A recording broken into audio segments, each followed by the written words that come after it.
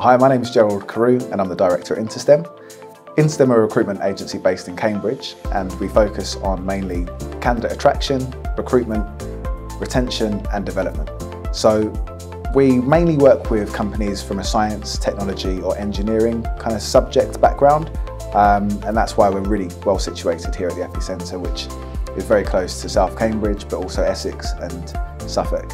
So choosing the Epicentre wasn't actually straightforward. Um, I was looking around for several different opportunities of, of, where to essentially base my business and ultimately the reason I chose the Epicentre came down to uh, a few things. First of all it was location, um, straddling three counties, so Essex, Cambridge and Suffolk, um, just seemed like a really good opportunity.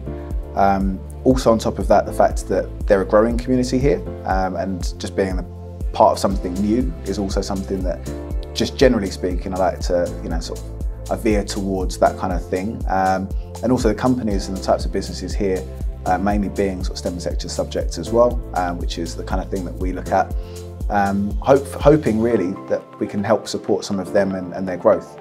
Um, the final thing really, and one of the most important things was the fact that they offer the, mentor, the mentorship as well. So um, having that access to some people that can essentially help remove some barriers to uh, growing my business as well was another key uh, factor of choosing the Epicentre. So the future at the Epicentre for me, um, yeah, good question. Um, hoping to grow. That's that's the first word I suppose that comes to mind. Um, I've got one colleague now uh, here in the Epicentre and we already joke that we've already eyed up the office that we want eventually, long term. Um, just down the hall there, it's quite big.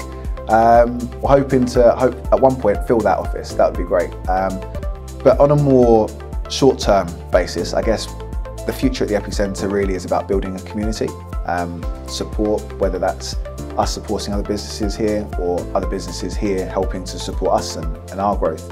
Um, like I say, companies here are mainly based in science, technology, engineering, uh, or sort of math sector subjects. So that is bang in line with what we do here at Interstem. So if we can help support them and their growth or advise them or in any way, shape or form uh, be part of their journey, then for me, that's how I can see the future here at the Epicentre at the minute, just being part of that community.